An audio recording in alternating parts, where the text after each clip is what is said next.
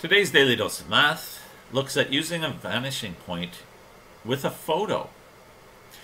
Okay, so here I've gone outside and I took a picture of this building.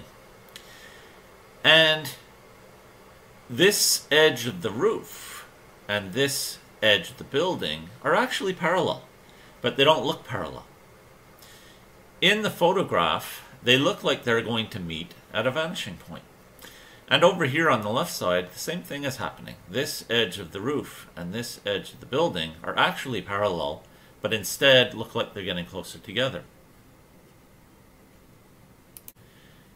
And now I've drawn in my two vanishing points and the lines that are followed by those edges of the building. We can see that this vanishing point is closer to the photograph and this one is further. And this has to do with the angle the photograph was taken from. But then I moved to another part of the parking lot and I took another photo, which looks like this.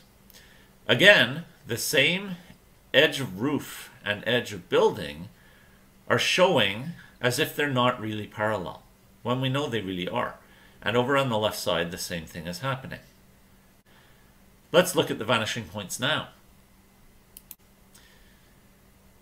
The way I moved to my right in the parking lot resulted in this vanishing point on the left side of the building getting a lot closer to the building, and this one on the right side getting further.